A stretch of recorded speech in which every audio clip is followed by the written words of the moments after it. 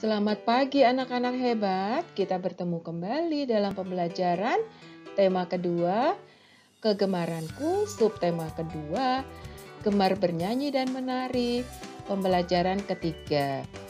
Sebelum mulai belajar, kita berdoa dulu ya nak. Jangan lupa kita juga harus katakan tolong apabila kita minta bantuan. Katakan terima kasih bila sudah dibantu dan ucapkan maaf apabila kalian berbuat salah. Anak-anak juga kita harus menjaga kesehatan dengan menjaga 5M supaya kita semakin sehat ya. Anak-anak, setelah kalian mempelajari pembelajaran hari ini, diharapkan satu, melalui kegiatan bernyanyi, kalian dapat mengidentifikasi ungkapan sayang dalam syair lagu yang diperdengarkan dengan tepat. Dua, dengan menceritakan pengalaman bersama adik, kalian mampu mengekspresikan kembali ungkapan sayang dalam syair lagu.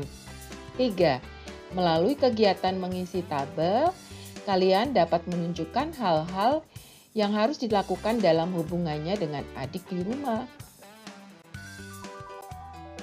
4. Melalui kegiatan makan siang bersama adik, siswa dapat membantu adik di rumah dan melakukan sikap-sikap baik terhadap adik yang telah dipelajari dengan tepat. 5. Dengan bermain peran, siswa dapat mengidentifikasi masalah sehari-hari yang melibatkan pengurangan dengan tepat. 6.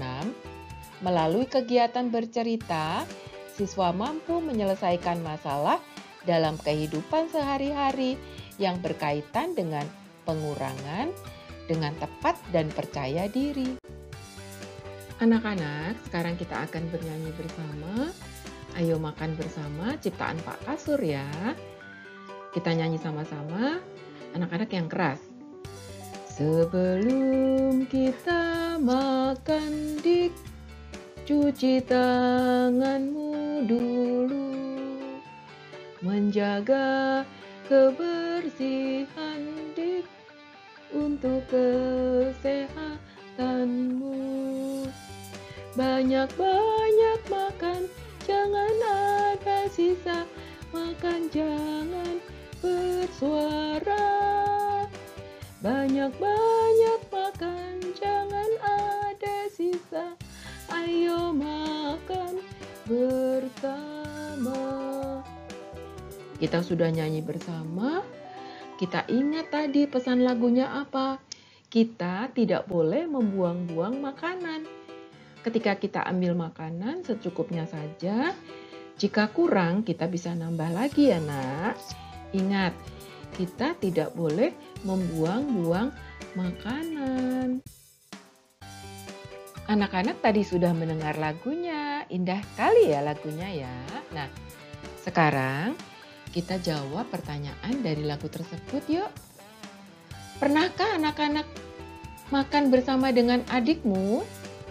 Pernah? Apakah anak-anak pernah makan bersama adik?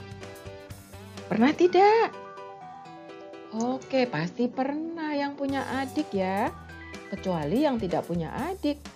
Jadi, yang punya kakak bisa makan bersama kakak, yang punya adik bisa makan bersama adik.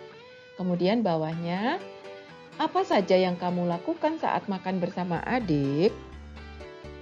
Kadang-kadang kalau kita sudah makan, kadang-kadang suka lupa ya, bercanda, padahal tidak boleh. Apa saja yang harusnya kita lakukan supaya makanan kita tidak tumpah, supaya kita tidak belepotan. Apa saja nak? Cuci tangan sebelum makan, kemudian duduk yang tenang, kita makan tidak sambil berbicara, tidak bersuara. Kita ambil makannya sedikit saja. Kalau kurang, kita bisa ambil lagi. Takutnya kalau kita ambilnya banyak-banyak nanti tidak habis. Ya. Lalu anak-anak yang penting, makan harus dihabiskan. Seperti dalam lagu tadi.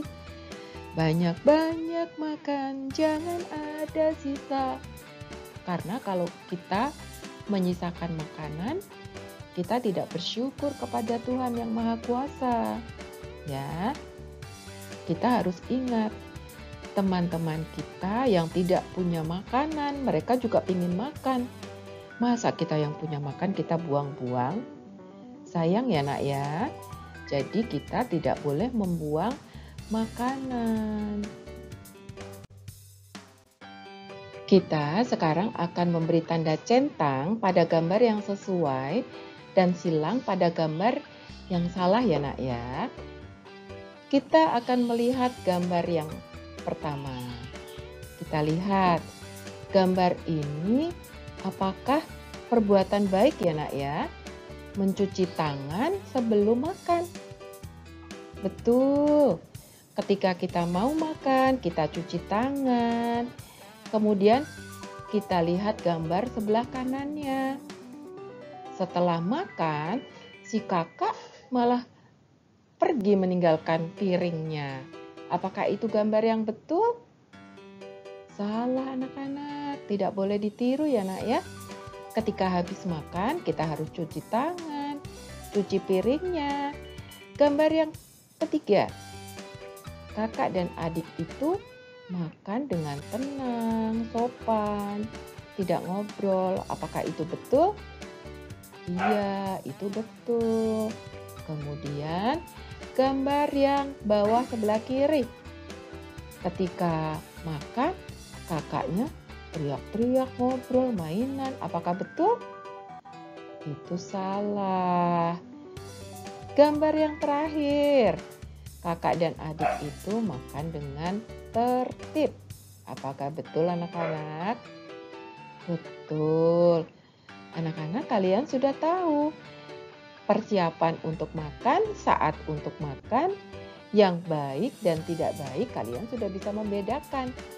Jangan salah ya, yang tidak baik tidak usah ditiru, yang baik kalian tiru. Anak-anak, sekarang kita akan membaca cerita. Adik masih kecil. Adik suka bernyanyi. Adik sering berhenti pada saat bernyanyi. Adik lupa syair lagunya. Kakak membimbing adik bernyanyi.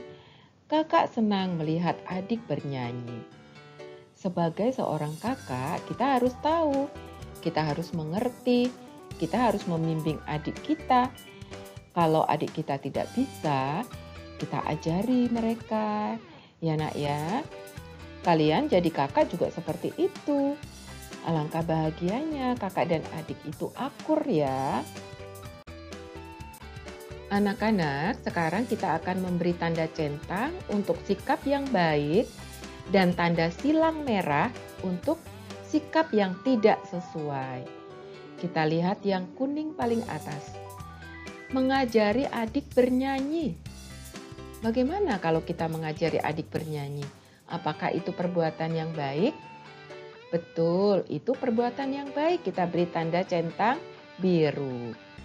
Kemudian, yang biru menghibur saat adik sedang sedih.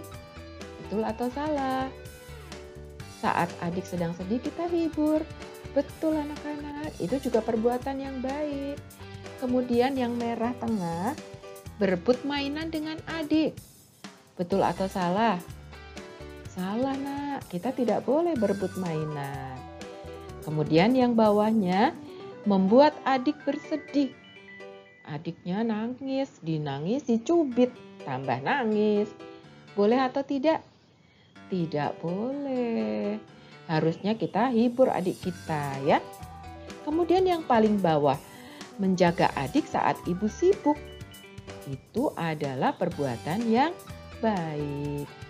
Anak-anak, kalian sudah tahu Perbuatan yang baik boleh kita lakukan, perbuatan yang tidak baik tidak usah kita lakukan ya. Kita akan lanjutkan ya nak. Yang biru paling atas. Kita berpura-pura tidak mendengar panggilan adik. Adiknya manggil-manggil. Kak, kak bukain mainan aku dong. Terus kakaknya pura-pura gak dengerin. Boleh tidak? Tidak boleh, itu perbuatan tidak baik ya nak. Kemudian yang pink bawahnya, merapikan mainan bersama adik. Wah, itu perbuatan yang baik. itu sangat uh, baik ya nak ya. Kemudian yang hijau muda membuat adik menangis. Boleh tidak? Tidak boleh. Bermain bersama adik. Boleh ya nak. Mengajari adik menggambar. Bagus sekali. Anak-anak, kalian sudah pintar semua. Diulang lagi ya. Sekarang kita akan berlatih menghitung. Mari kita hitung dengan teliti ya nak. Kakak sedang menggambar bersama adik. Kakak memiliki tujuh pensil warna. Adik pinjam tiga pensil warna. Berapakah sisa pensil warna kakak? Kita sekarang tahu bahwa pensil warna kakak mula-mula ada berapa? Tujuh. Kita hitung.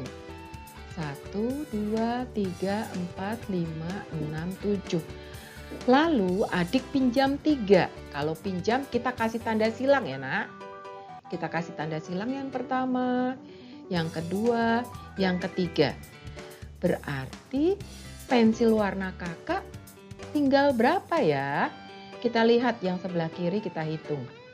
1, 2, 3, 4. Berarti pensil warna kakak betul. Tinggal empat. Bagaimana cara penulisannya? Menulis angkanya bagaimana? Kita lihat. Mula-mula ada tujuh pensil warna. Lalu dikurangi. Berapa yang disilang? Tiga. Masih ada berapa sisanya? Masih ada empat. Lalu kalimat matematikanya jadi, sisa pensil warna kakak adalah empat pensil warna. Sudah mengerti anak-anak? Yang belum mengerti, belajar lagi. Yang sudah mengerti, latihan terus. Ya. Kita hitung soal berikutnya ya nak. Adik membeli lima buah tahu goreng. Dua tahu terjatuh Berapakah banyak tahu adik sekarang? Adik punya lima tahu ya. Kemudian dua jatuh. Yang dua kita kasih tanda silang ya. Nah kita hitung yang tidak diberi tanda silang. Ada berapa? Satu, dua, tiga. Berarti tahu yang tidak jatuh ada tiga. Kita akan menulis matematikanya bagaimana. Lima dikurangi yang disilang berapa tadi? Dua. Tinggal berapa tahunya? Tinggal tiga. Nah, kalimat jadinya bagaimana? Jadi, banyaknya tahu adik sekarang adalah tiga tahu. Gampang ya? Kalau kita mau belajar, pasti gampang. Anak-anak di sini pasti pintar semua. Belajar terus ya, Nak. Kakak menggambar delapan kartu gambar hewan. Adik rupa-rupanya ingin gambar kakak. Kakak memberikan empat kartu kepada adik. Berapakah sisa kartu kakak? Anak-anak, sekarang kita lihat. Kakak mula-mula punya berapa kartu? Delapan kartu. Diberikan kepada adik empat. Sisa kartu kakak berapa? Empat. Jadi banyaknya kartu kakak sekarang ada empat kartu. Ibu membuat 10 potong kue untuk adik dan kakak. Adik makan 3 potong. Berapakah banyak sisa kue? Ibu, anak-anak perhatikan di meja ada dua piring kue. Ada tiga piring dan sisanya tujuh piring. Berarti mula-mula kue ibu berapa? 10. Dimakan adik 3. Sisanya yang di piring besar adalah 7. Berarti banyaknya kue yang tersisa adalah 7 kue. Kita lihat soal berikutnya ya nak. Pulang kerja, ayah membawa 9 buah jeruk. Dua jeruk ayah berikan kepada kakak. Berapakah banyak jeruk yang tersisa? Anak-anak, mula-mula ayah membawa 9 jeruk. Diberikan kepada kakak artinya dikurangi dua. Tinggal berapakah jeruk ayah? tinggal 7. Jadi, banyak jeruk yang tersisa adalah 7 jeruk. Anak-anak hebat, hari ini kita sudah belajar banyak ya. Belajar menyanyi, belajar uh, matematika, belajar uh, berbuat baik kepada adik.